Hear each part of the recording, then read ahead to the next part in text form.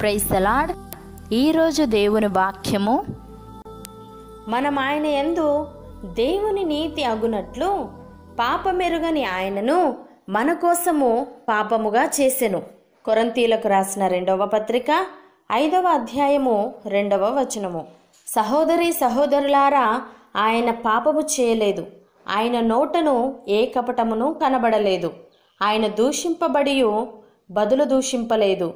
ఆయన శ్రమ పెట్టబడియు బెదిరింపక న్యాయముగా తీర్పు తీర్చు దేవునికి తన్ను తాను అప్పగించుకొనెను.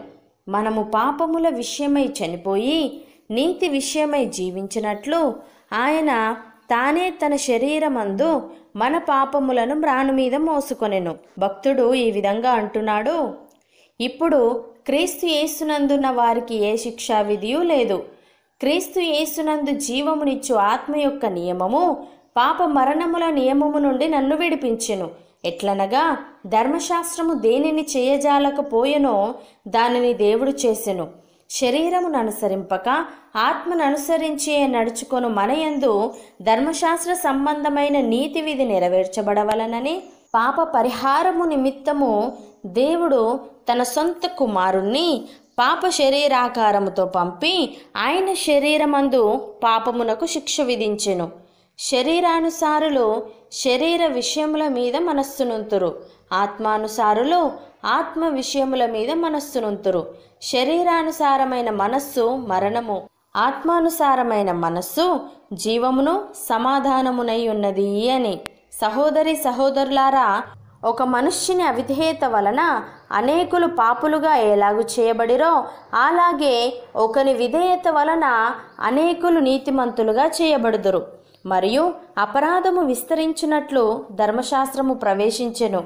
అయినను పాపము మరణమును ఆధారము చేసుకొని ఎలాగు ఏలెనో అలాగే నిత్య జీవము కలుగుటకై నీతి ద్వారా కృపయు మన ప్రభువైన యేసుక్రీస్తు మూలముగా ఏలు నిమిత్తము పాపం ఎక్కడ విస్తరించెనో అక్కడ కృప అపరిమితముగా విస్తరించెను.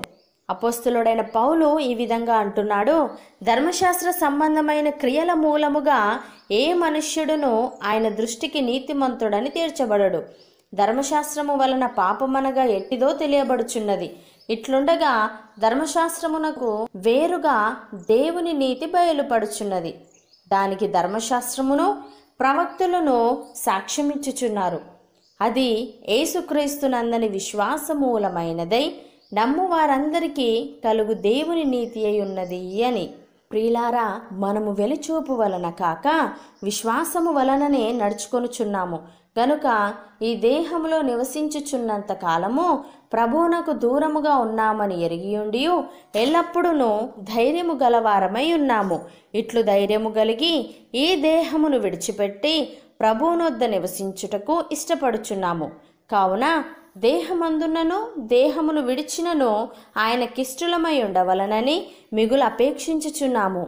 అవును అన్నవారు నాతో పాటు ప్రార్థనలో ఏకీభవించండి. పరిశుద్ధుడా ప్రేమగల తండ్రి మేము చేసిన పాపములను బట్టి మాకు రావాల్సిన శిక్షను సిలువలో మా స్థానంలో నీవు భరించావు. శిక్ష నుండి మమ్ములను తప్పించావు. తండ్రి నీవిచ్చిన ఈ రక్షణను బట్టి నీకు స్తోత్రములు చెల్లిస్తూ ఈ లోకములో నీకు సాక్షులముగా మేము జీవించే కృప దయచేయమని యేసుక్రీస్తు నామంలో ప్రార్థిస్తున్నాము తండ్రి. ఆమెన్.